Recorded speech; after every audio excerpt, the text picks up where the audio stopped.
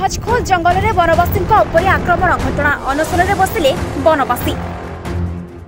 ঝরিকা চন্দাহাণ্ডি সীমান্ত সাহাজকোল জঙ্গলের চাশ জন পরিবার মারাত্মক আক্রমণ করে ঘর তোড়ি দেওয়া ঘটনার আজ অঠর দিন বিড়ি যাই হি পীড়িতা পরিবার বর্গঙ্ কৌশি ন্যায় নমিলবার আজ বাধ্য হয়ে চাশ পীড়িত আদিবাসী পরিবার আজ ঝরিকা চন্দাহাণ্ডি ব্লক সীমান্ত ভত্তাপাণিঠার অনশরের বসিছেন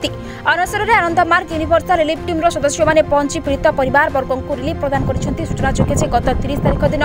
গৌতমুন্ডা অঞ্চলের কিছু যুবক ডুমিরপাণি এবং ভত্তাপাণি গ্রামের মারাত্মক আক্রমণ করে আক্রমণের শিকার চাশ পরিবার মধ্যে কিছু পরিবার ঘুড়ি পঞ্চায়েতর কুয়াম্বাঠারে আশ্রয় নিয়ে বড়কা পরিবার জঙ্গল মধ্যে পলিথিন টাণি আশ্রয় নিয়েছেন এই ঘটনা আজ অঠর দিন ভিজাইলে হে এযাবৎ কলাহাঁ আমপানি পুলিশ জনে মধ্যে অভিযুক্ত গিরফ করে পারি না অন্যপক্ষে নবরঙ্গপুর এবং কলাহাঁ জেলা প্রশাসন তরফ প্রথমে তৎপরতা প্রকাশ পাইলে হেঁ পীড়িত পরিবার কৌশি প্রকার থইথান করা যায় না কি জঙ্গল জমি চিহ্নট করা যায় না সবুড় হ্রাস পাই শেষে আজ ছ দফা দাবি পূরণ নিমন্তে অনশনের চাশ পরিবার প্রায় দুইশহ বনবাসী অনশনের বসছেন